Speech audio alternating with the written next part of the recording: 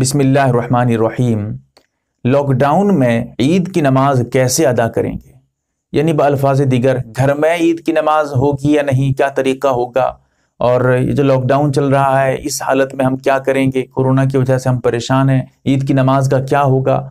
تو اس ویڈیو میں پوری جانکاری آپ گھر میں پڑھ رہے ہیں یا میدان میں ادا کر رہے ہیں، امام بن کر پڑھا رہے ہیں یا مقتدی بن کے امام کے پیچھے پڑھ رہے ہیں، پھر عورتوں کا مسئلہ آئے گا۔ انشاءاللہ ایک ویڈیو میں پوری جانکاری، پوری ڈیٹیلز آپ کے سامنے بیان کرنے کی کوشش کروں گا۔ حدیث اگر آپ دیکھنا چاہیں تو علاؤ سنن میں جلد نمبر چار، صفحہ نمبر تین سو پینتالیس پر بھی دیکھ سکتے ہیں۔ اس کے علاوہ چند مسائل آپ کو کتاب المسائل میں اور مسائل عیدین و قربانی میں اور دیگر فتح کی کتابوں میں بھی مسائل مل جائیں گے۔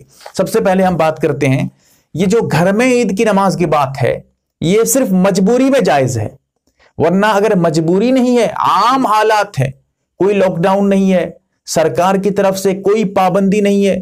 آپ عید کی نماز عیدگاہ میں جا کر ادا کر سکتے ہیں، کوئی رکاوٹ نہیں ہے۔ تو ایسی صورت میں گھر میں عید کی نماز ادا کرنا مکروح تحریمی ہے، ناجائز ہے۔ گناہ ملے گا آپ کو۔ اگر مجبوری ہے جو آج کے دور میں حالات ہیں، تو پھر آپ مسجد یا عیدگاہ میں نہ جا کر مجبوری ہے، آپ گھر میں بھی پڑھ سکتے ہیں، لیکن چند شرائط ہیں۔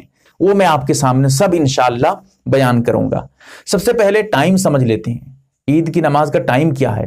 اگر اس اس ٹائم سے پہلے، وقت ہونے سے پہلے اگر آپ عید کی نماز ادا کریں گے تو آپ کی نماز ہی نہیں ہوگی۔ وقت ہونے کے بعد ادا کریں گے، ختم ہونے کے بعد۔ ٹائم ختم ہو گیا عید کی نماز کا، اس کے بعد پڑھ رہے ہیں۔ تب بھی کوئی نماز آپ کی نہیں ہوگی، کوئی اعتبار نہیں ہوگا۔ عید کی نماز کا جو ٹائم ہے، یہ ہے صبح طلوع شمس یعنی سورج کے نکلنے کے بعد۔ لوگ یہاں پر غلطی کر جاتے ہیں۔ صبح صادق کے بعد ہی پڑھ لیتے ہیں۔ سورج کے نکلنے سے پہلے، ایسا نہیں ہے، دیکھیں یہاں غلط ہے۔ لوگ کیا کرتے ہیں؟ سورج نکلنے سے مراد یہ سمجھتے ہیں، سورج نکل جائے گا، سورج کی روشنی آ جائے گی، سورج کو دیکھ لیں گے، تب جا کے نماز ہوگی۔ ایسا نہیں ہے۔ سورج کا نکل جانا ضروری ہے، آپ کا دیکھنا ضروری نہیں ہے۔ آپ دیکھیں گے سورج نکلے گا، تب اس کے بعد پڑھیں گے، ایسا نہیں ہے۔ سورج کے نکلنے کا ایک ٹائم رہتا ہے، ٹائم ٹیبل رہتا ہے۔ ٹائم ٹیبل جو اس کی لسٹ ہوتی ہے، جو اس کا کیلنڈر ہوتا ہے، ہر مسجد میں ہوتا ہے یہ، تو وہ جو ٹائم ٹیبل ہے، اس میں دیکھیں گے طلوع فجر یا اس میں جو ہے طلوع شمس غروب آفتاب، نماز ظہر کا، جو ہے نماز ظہر کا وقت وغیرہ، اس طرح سب لکھا رہتا ہے کیلنڈر پہ۔ اس میں دیکھیں گے، لکھا رہتا ہے سورج نکلنے کا ٹائم یا طلوع، جو ہے شمس، سورج نکلنے کا وقت۔ اس کو آپ دیکھیے گا۔ وہ جو سورج نکلنے کا ٹائم ہے اس ٹائم کے بیس منٹ کو چھوڑ دیجیے۔ جیسے مثال کے طور پہ کہیں پر پانچ بجے سورج نکلتا ہے۔ ایک مثال دے رہا ہوں میں، ورنہ آپ کے وہاں کا ٹائم الگ بھی ہو سکتا ہے۔ پانچ بجے سورج نکلتا ہے، پانچ بجے سے بیس منٹ چھوڑ دیجیے۔ پانچ بج کر بیس منٹ ہو جائے گا۔ اس کے بعد سے اس کا ٹائم شروع ہو جاتا ہے۔ ٹھیک ہے؟ یعنی سورج نکلنے کے بیس منٹ کے بعد ٹائم شروع ہو جائے گا۔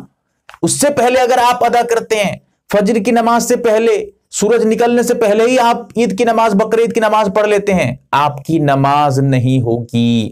اسی طرح زوال کا وقت جب شروع ہو جائے گا، جب زوال ہو جائے، جب زہر کا زہر کی نماز کا ٹائم شروع ہو جائے، جب سر کے اوپر بالکل سورج آ جائے، اب نماز کا ٹائم نکل گیا، اب پڑھنے سے بھی کوئی اعتبار نہیں ہوگا۔ اس کے بعد دوسرا مسئلہ یہ سمجھیے، عید کی نماز ہو یا بقرعید کی نماز، اس میں اذان بھی نہیں کہی جائے گی، اذان نہیں دی جائے گی، اقامت بھی جو امام جو نماز پڑھانے سے پہلے ہم تکبیر کہتے ہیں، وہ تکبیر بھی نہیں کہیں گے۔ اور اس کے بعد یہ مسئلہ سمجھیے، یہ نماز، عید کی نماز ہو یا بقرعید کی نماز، بغیر جماعت کے ادا نہیں کر سکتے۔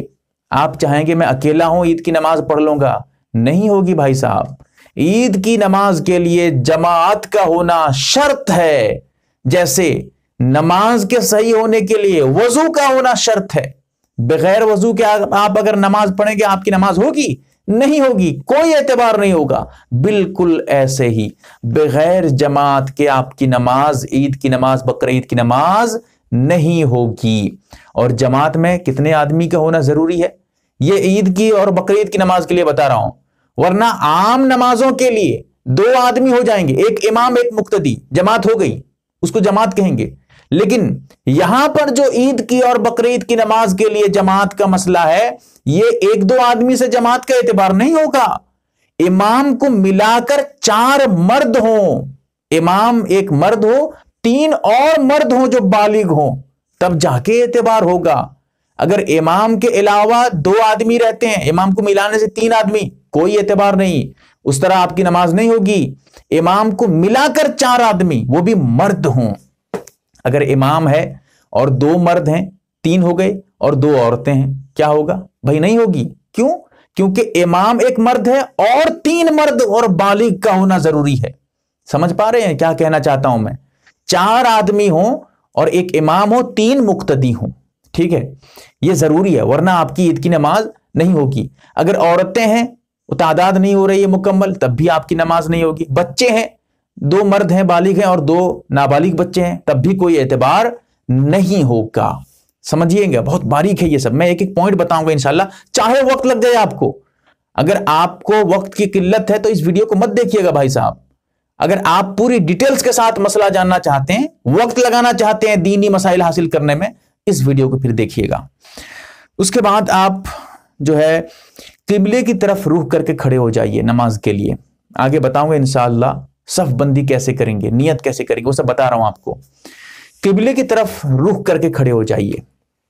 اب ذرا اس میں سمجھیے لاک ڈاؤن ہے، گھر میں بھی نماز ادا کی جائے گی، چند آدمی مسجد میں بھی ادا کریں گے۔ لیکن عورتوں کے لیے عیدگاہ میں جانا، مسجد میں جانا، یہ تو ناجائز ہے، جائز نہیں ہے نماز کے لیے۔ نماز کے لیے بات ہے، ورنہ عام کسی ضرورت کے لیے ایک الگ بات ہے دوسری بات ہے۔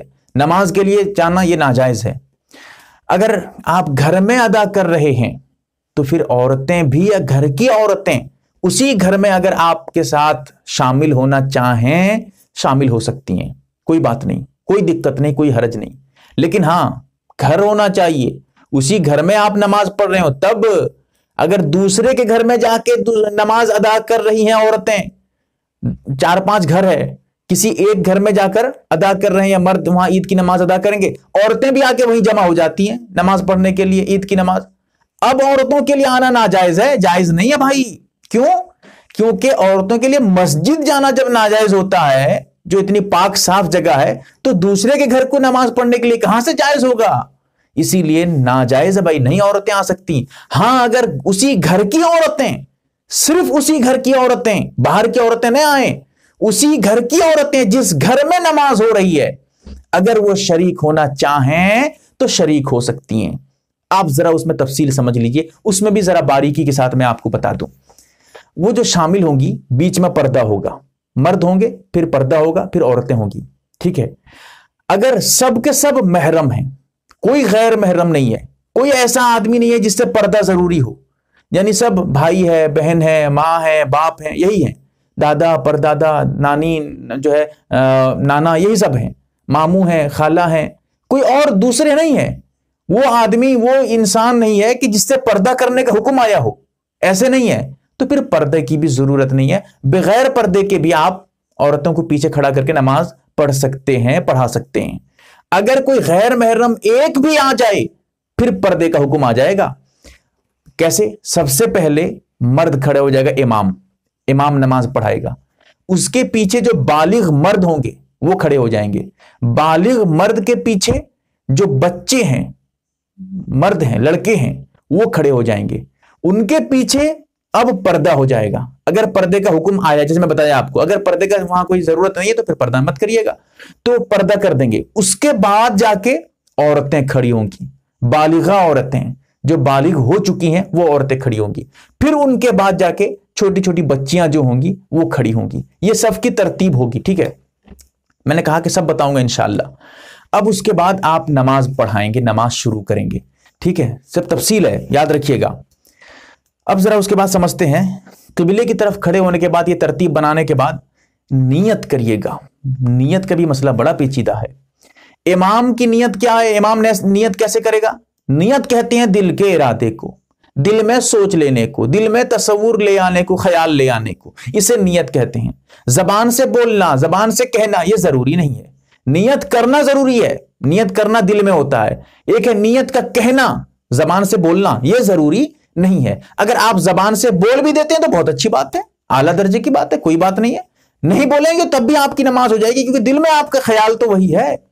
تو امام جو ہے، وہ دل میں سوچے گا، کہے گا، زبان سے اگر ادا کرنا چاہے، میں دو رکعت عید کی واجب نماز، چھ زائد تکبیرات کے ساتھ پڑھا رہا ہوں، کیونکہ امام ہے، پڑھائے گا، پڑھا رہا ہوں، اگر عورتیں پیچھے ہیں تو پھر یہ بھی دل میں سوچے، عورتوں کو بھی پڑھا رہا ہوں۔ جب پڑھانے کی بات کرے گا تو اس وقت دل میں خیال کر لے، عورتیں بھی میرے پیچھے ہیں، عورتوں کا بھی خیال رکھ رہا ہوں میں۔ پڑھا رہا ہوں، اللہ کے واسطے میرا رخ کعبہ شریف کی طرف اللہ اکبر کہہ کے نماز شروع کر دے۔ یہ امام ہے۔ اگر مقتدی ہے، وہ نیت کرے گا کہ میں دو رکعت واجب نماز چھ زائد تکبیرات کے ساتھ عید کی عید کی واجب نماز چھ زائد تکبیرات کے ساتھ اس امام کے پیچھے جو ہمارے آگے کھڑا ہے، اس امام کے پیچھے جو محراب میں کھڑا ہے ممبر پہ کھڑا ہے یعنی جو ہمارے آگے ہے، اس امام کے پیچھے ادا کر رہا ہوں۔ میرا رخ کعبہ شریف کی طرف اللہ اکبر کہہ کے شروع کر دے مختصر نیت یہ ہے، امام کہے کہ میں نماز پڑھا رہا ہوں۔ دل میں کہے یا دل میں سوچے، میں نماز پڑھا رہا ہوں۔ اسی طرح جو مقتدی ہیں، میں امام کے پیچھے عید کی نماز پڑھ رہا ہوں۔ کتنے زائد تکبیرات ہیں، یہ کہنا ضروری نہیں۔ کتنی رکعت ہے، یہ ضروری نہیں۔ واجب ہے، سنت ہے، فرض ہے، یہ سب ضروری نہیں ہے۔ ٹھیک ہے؟ اس لیے سب سب واضح کر رہا ہوں میں آپ کے سامنے مسئلہ۔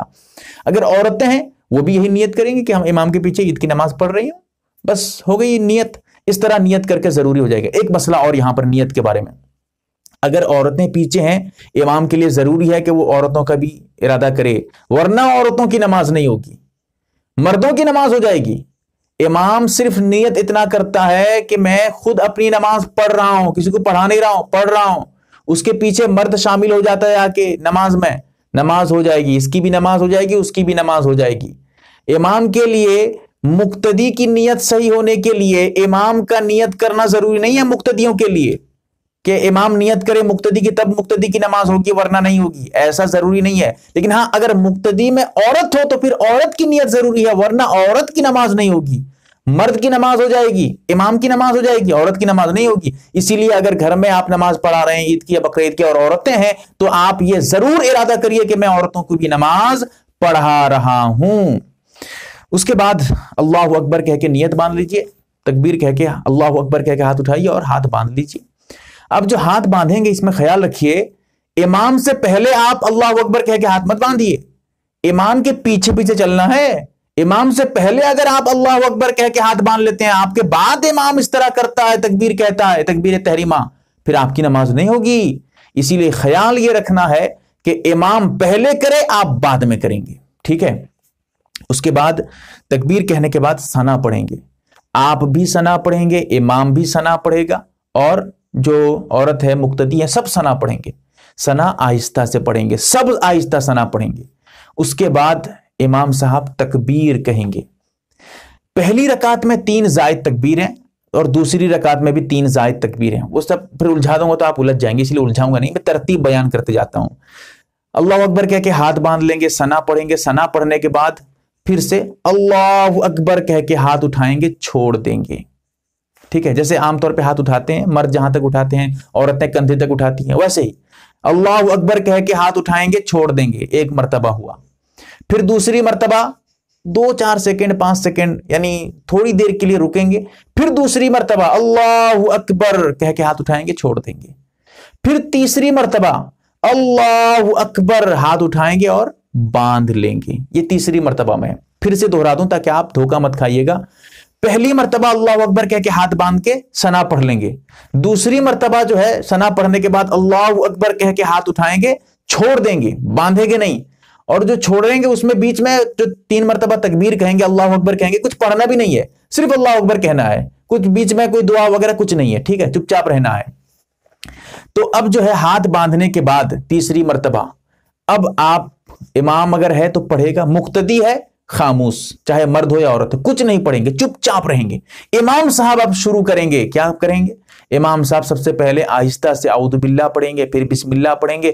اب اس کے بعد زور سے بلند آواز سے جہرن قرات شروع کر دیں گے۔ الحمدللہ رب العالمین الرحمن الرحیم اس طرح کر کے سورہ فاتحہ پڑھیں گے۔ سورہ فاتحہ جب مکمل ہو جائے، غیر المغضوب علیہم الضالین، اس کے بعد آمین کہیں گے، امام بھی کہے گا، مقتدی بھی، مرد، عورت سب کہیں گے، اور آہستہ سے آمین کہیں گے، زور سے نہیں کہیں گے۔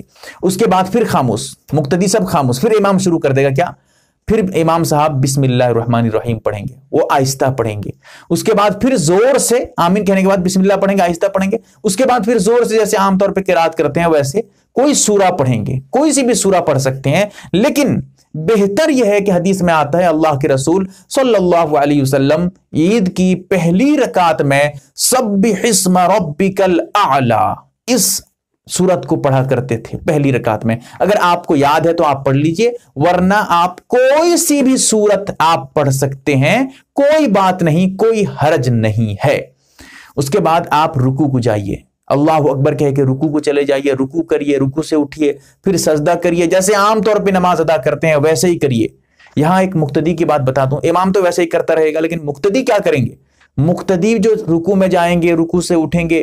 رکو سے اٹھنے کے بعد مقتدی سمی اللہ لمن حمیدہ نہیں کہیں گے وہاں پر ربنا لکل حمد اگر آپ چاہیں تو واؤ بھی لگا سکتے ہیں، ربنا ولکل حمد بھی کہہ سکتے ہیں۔ اس کے بعد اگر ٹائم مل رہا ہے تو آپ حمدن کثیرن طیبن مبارکن فی بھی کہہ سکتے ہیں، زیادہ ثواب ملے گا آپ کو۔ تو یہ جو ہے مقتدی کریں گے۔ جو سجدے کو جائیں گے، امام تو اللہ اکبر کہتے ہوئے سجدے کو جائے گا۔ مقتدی بھی کہتے ہوئے جائیں گے، لیکن مقتدی آہستہ کہیں گے، امام صاحب زور سے کہیں گے۔ تسبیحات پڑھیں گے رکو میں تسبیح پڑھیں گے، سبحان ربی العظیم۔ اگر آپ عظیم تو زوا جو ہے صحیح سے ادا نہیں کر پا رہے ہیں، پھر عظیم مت کہیے، آپ سبحان ربی الکریم کہیے۔ اگر عظیم زا کہہ دیتے ہیں یا جیم کہہ دیتے ہیں، سبحان ربی العجیم۔ آپ کی نماز نہیں ہوگی، نماز ختم ہو جائے گی آپ کی۔ اسی لیے اگر آپ صحیح طریقے سے سبحان ربی العظیم کہہ پاتے ہیں تو کہیے، ورنہ سبحان ربی الکریم کہیے۔ ٹھیک ہے؟ اس کے بعد آپ رکو میں تسبیح پڑھ کے پھر سجدے کو جائیں گے۔ سجدے کی جو تسبیح ہے، سبحان ربی العلا، اسے کہیے تین مرتبہ، پانچ مرتبہ، جو ٹائم مل رہا ہے۔ اگر آپ تین مرتبہ کہے ہوئے تھے، دو مرتبہ، ایک ہی مرتبہ کہے ہوئے تھے، امام صاحب اٹھ گئے۔ وہیں چھوڑ کے اٹھ جائیے، امام صاحب کے ساتھ چلیے۔ آپ کو، امام کو دیکھنا ہے، ٹھیک ہے؟ یہ خیال رکھنا ہے آپ کو۔ اب اس کے بعد دوسری رکعت کے لیے کھڑے ہو جائیں گے۔ اب دوسری رکعت میں کھڑے ہونے کے بعد امام صاحب سب سے پہلے بسم اللہ الرحمن الرحیم پڑھیں گے۔ اب مقتدی کچھ نہیں پڑھے گا۔ مقتدی جو امام کے پیچھے ہے، سب خاموش رہیں گے۔ مرد، عورت سب چپ چاپ رہیں گے۔ اب کام امام کا ہے۔ دوسری رکعت میں کھڑے ہونے کے بعد اب سنا بھی نہیں ہے۔ دوسری رکعت میں اعوذ باللہ بھی نہیں ہے۔ کسی کے لیے نہیں ہے۔ امام صاحب ڈائریکٹ پڑھیں گے بسم اللہ الرحمن الرحیم۔ وہ بھی آہستہ سے۔ پھر اس کے بعد زور سے جیسے عام طور پہ قرات کرتے ہیں قرات شروع کر دیں گے، سورہ فاتحہ پڑھیں گے۔ پھر آمین کی بات آئے گی، پھر کوئی سورہ پڑھنے کی بات آئے گی، کوئی بھی سورہ پڑھ سکتے ہیں۔ لیکن دوسری رکعت میں اللہ کے رسول صلی اللہ علیہ وسلم ایک مخصوص سورہ پڑھا کرتے تھے، اکثر و بیشتر ایسا ہوتا تھا کہ وہ سورہ جو ہے پارہ نمبر تیس میں موجود ہے۔ حل اتا کا حدیث الغاشیہ؟ اس سورت کو اللہ کے رسول پڑھا کرتے تھے۔ آپ اگر چاہیں تو یاد ہو، پڑھ لیجیے، ورنہ کوئی سی بھی سورہ آپ پڑھ سکتے ہیں۔ اس کے بعد سورہ ختم ہونے کے بعد اب تکبیر کہنا ہے۔ کیسے کہیں گے؟ سب سے پہلے اللہ اکبر کہتے ہوئے ہاتھ اٹھائیں گے، چھوڑ دیں گے۔ پھر تھوڑی دیر ایک دو سیکنڈ رکنے کے بعد اب بیچ میں کچھ نہیں پڑھنا ہے۔ پھر اس کے بعد پھر سے دوسری مرتبہ اللہ اکبر ہاتھ اٹھائیں گے، چھوڑ دیں گے۔ یہ سب کے لیے امام بھی ویسے ہی کرے گا، مقتدی بھی ویسے ہی کریں گے۔ اور امام کے ساتھ ساتھ مقتدی بھی اللہ اکبر کہیں گے، لیکن امام زور سے کہے گا، مقتدی آہستہ کہیں گے۔ مقتدی اگر یہ تکبیر نہیں کہیں گے تو پھر گناہ ملے گا، کیونکہ یہ تکبیر واجب ہے، ضروری ہے۔ جیسے امام کے لیے ضروری ہے، مقتدی کے لیے بھی ضروری ہے۔ مقتدی بھی اس کا خیال رکھیں گے۔ لیکن آہستہ سے کہیں گے، امام زور سے کہے گا۔ تو عرض یہ کر رہا تھا جو دوسری مرتبہ تکبیر کہہ کے ہاتھ چھوڑ دے گا، پھر سے میں بتا دیتا ہوں آپ کو، دوسری رکعت میں قرات کرنے کے بعد سب سے پہلے یعنی سورہ فاتحہ پڑھنے کے بعد، سورہ ملانے کے بعد، اللہ اکبر کہہ کے پہلی مرتبہ ہاتھ اٹھا کے چھوڑ دیں گے، پھر دوسری مرتبہ اللہ اکبر کہہ کے ہاتھ اٹھائیں گے، چھوڑ دیں گے، تیسری مرتبہ پھر سے اللہ اکبر کہیں گے، ہاتھ اٹھائیں گے، چھوڑ دیں گے، پھر چوتھی مرتبہ اب جو ہے، اللہ اکبر کہیں گے، ہاتھ اٹھائیں گے نہیں۔ بغیر ہاتھ اٹھائے رکو کو چلے جائیں گے۔ کیوں؟ کیونکہ یہ رکو کی تکبیر ہے، وہ زائد تکبیر نہیں ہے جس میں ہاتھ اٹھا کے چھوڑتے ہیں، ٹھیک ہے؟ پھر رکو میں جانے کے بعد رکو میں وہی معاملہ ہے، رکو میں ویسے ہی کریں گے، جو پہلی رکعت میں آپ کیے ہوئے تھے، سجدہ کریں گے، سجدہ کرنے کے بعد بیٹھیں گے، اتحیات پڑھیں گے۔ اور اتحیات میں آپ اتحیات مکمل پڑھیے، دوسری پڑھیے، جو بھی کرنا ہے، جو پڑھتے ہیں، عام طور پہ وہی کریے دعائیں معصورہ پڑھیے۔ اور امام صاحب بھی ویسے ہی کریں گے، جیسے آپ پڑھ رہے ہیں، سب کچھ وہی کریں گے۔ اگر آپ کے ختم ہونے سے پہلے پہلے آپ نے اتحیات پڑھ لیا تھا اب دروسری پڑھ رہے تھے یا دعا پڑھ رہے تھے، امام صاحب سلام پھیر دیتے ہیں۔ آپ وہیں چھوڑ کے سلام پھیر دیجیے امام کے ساتھ۔ لیکن اگر آپ ابھی اتحیات مکمل نہیں کرے تھے، اس سے پہلے امام سلام پھیر دیتا ہے، پھر آپ کے لیے ضروری ہے کہ آپ کم سے کم اتحیات، تشہد مکمل کریے، پھر اس کے بعد سلام پھیریے۔ اور امام کا خیال رکھنا چاہیے کہ امام بھی یہ سوچے کہ کہ بھائی مقتدی میرے پیچھے ہیں، میں اسی اعتبار سے پڑھوں۔ اس کے بعد جو ہے، آپ، یہ تو طریقہ تھا۔ میں نے پوری ڈیٹیلز میں مرد کیا کرے، عورت کیا کرے، امام کیا کرے اور مقتدی کیا کرے سب بتایا ہے۔ اس کے بعد جب آپ نماز مکمل کر لیں گے، سلام پھر لیں گے، اب دعا کریں گے۔ دعا مختصر دعا ہو۔ لمبی چوڑی دس دس منٹ، بیس بیس منٹ، ایک ایک گھنٹہ دعا غلط ہے۔ مختصر دو چار منٹ دعا کریے۔ مختصر سی دعا کریے اور دعا کیسے کریں گے؟ جیسے عام طور پہ نماز کے بعد کرتے ہیں، ہاتھ اٹھا کر دعا کرتے ہیں، ویسے ہی دعا کریے۔ دعا کرنے کے بعد دعا جب ختم ہو جائے اب خطبہ شروع کر دیجیے۔ دو خطبہ دیں گے۔ ٹھیک ہے، خطبے کا طریقہ کیا ہے؟ میں نے ایک مستقل ویڈیو میں بیان کیا ہے، آپ یوٹیوب پہ سرچ کریں گے۔ عید کی نماز کا خطبہ کیسے دیں؟ By M A R B دینی معلومات۔ آ جائے گی ویڈیو، آپ اس کو دیکھیے گا۔ پوری ڈیٹیلز اور پوری جانکاری اس ویڈیو میں میں نے آپ کے سامنے رکھا ہے۔ خطبہ کے لیے کوئی، دیکھیے، ایک مسئلہ، دو چار خطبے کے بارے میں دو چار مسائل بیان کر کے اپنی بات ختم کر دوں گا۔ خطبہ زبانی پڑھنا، بغیر دیکھے پڑھنا ضروری نہیں ہے۔ آپ دیکھ کر بھی پڑھ سکتے ہیں۔ خطبہ دو خطبہ ہوتا ہے۔ پہلے خطبے میں آپ کچھ پڑھیں گے، پھر اس کے بعد دس پانچ سیکنڈ بیٹھیں گے، تھوڑی دیر بیٹھیں گے۔ پھر تھوڑی دیر سے مرادے تین تسبیح کے مقدار بیٹھیں گے، پھر کھڑے ہو جائیں گے، پھر اس کے بعد دوسرا خطبہ دیں گے اور خطبے کے بعد کوئی دعا نہیں کریں گے۔ خطبے سے پہلے نماز کے بعد دعا کریں گے، لیکن خطبے کے بعد کوئی دعا نہیں، اس کے بعد آپ اپنے کام پہ جائیے، گھر کو جائیے، کوئی کام وام کریے، جو بھی ہے کرتے رہیے۔ تو خطبہ، یہ جو خطبہ ہے، اگر آپ کو خطبہ یاد ہے، کر دیجیے، پڑھ دیجیے۔ اگر آپ کو یاد نہیں ہے تو دیکھ کر پڑھ دیجیے۔ کاپی میں، کاغذ میں لکھ کے رکھ دیجیے، دیکھ کر پڑھ لیجیے، کوئی دقت نہیں ہے۔ اگر آپ کو دیکھ کر بھی پڑھنا آتا نہیں ہے، آپ خطبہ جانتے نہیں ہیں، کریں گے کیا؟ لاک ڈاؤن کا معاملہ ہے، دقت ہو جائے گی۔ آپ تو کبھی نماز پڑھائے بھی نہیں تھے۔ اب کریں گے کیا؟ پریشانی ہے۔ ایسی صورت میں آپ کھڑے ہو جائیے۔ پہلی رک جو ہے، پہلے خطبے میں سورہ فاتحہ، الحمد شریف مکمل پڑھ دیجیے۔ پھر اس کے بعد درو شریف پڑھ لیجیے۔ بیٹھ جائیے۔ پہلا خطبہ ہو گیا۔ پھر کھڑے ہو جائیے دوسرے خطبے کے لیے۔ دوسرے خطبے میں بھی یہی کر دیجیے۔ دوسرے خطبے میں بھی آپ الحمد شریف پڑھ دیجیے اور درو شریف پڑھ دیجیے۔ اس کے علاوہ اگر آپ کو کچھ اور حدیث یاد ہے، کچھ حدیث پڑھ دیجیے۔ کچھ اور قرآن کی آیتیں ہیں، سورہ ناس، سورہ فلک کوئی اور سورہ یاد ہے، اس کو پڑھ دیجیے۔ اگر آپ کو کچھ اور عربی کے جملے یاد ہیں جو نصیحت کے طور پہ کہے جاتے ہیں، کوئی کلمہ یاد ہے اشہد اللہ الہ الا اللہ، یا پھر جو ہے آپ کو کوئی عربی میں دعا، ربنا آتنا فی الدنیا حسنہ، یہ جو دعا ہے، قرآن کی آیتیں ہیں، دعا پڑھ دیجیے۔ یا کوئی اور دعا، جیسے ربنا ظلمنا انفسنا، یہ دعا ہے۔ یا پھر آپ جیسے، اللہم آتنی کتابی بیمینی وغیرہ سب جو دعائیں ہیں دعائیں پڑھ دیجیے۔ تو اس طرح کر کے آپ خطبے کو لمبا بھی کر سکتے ہیں۔ آپ کے اختیار میں ہے۔ خطبہ کیسے کیا کرنا ہے وہ ویڈیو ضرور دیکھیے گا۔ یہ مسئلہ آپ کا بہت اچھی طریقے سے حل ہو جائے گا۔